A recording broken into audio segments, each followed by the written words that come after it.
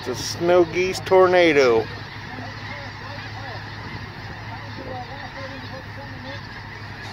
I think the migration's here now.